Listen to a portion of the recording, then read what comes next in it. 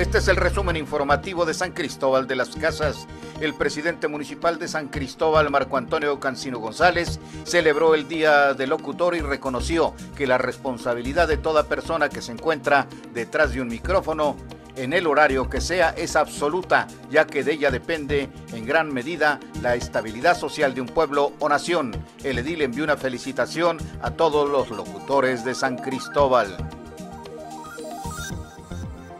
presidente municipal de San Cristóbal afirmó que Chiapas no ha dejado de contribuir con magnanimidad, aportando mucho y de gran calidad de sus mejores valores y recursos humanos y materiales. Habló en el marco de la conmemoración del 192 aniversario de la mexicanidad de Chiapas ante autoridades civiles y militares dijo que el trabajo de los chiapanecos y de los diferentes órdenes de gobierno han permitido posicionar a Chiapas en el contexto nacional como una tierra viva, actuante, dinámica, atractiva y con gran potencial de crecimiento.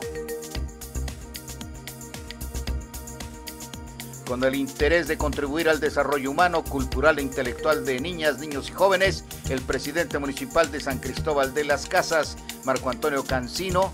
firmó un convenio de colaboración con la Asociación Azteca Amigos de la Cultura y las Artes, Asociación Civil. Aseguró que una de las prioridades de su administración es generar políticas públicas encaminadas a impulsar las habilidades y dotes artísticas de quienes viven en la ciudad, brindándoles un apoyo incondicional para el desarrollo profesional.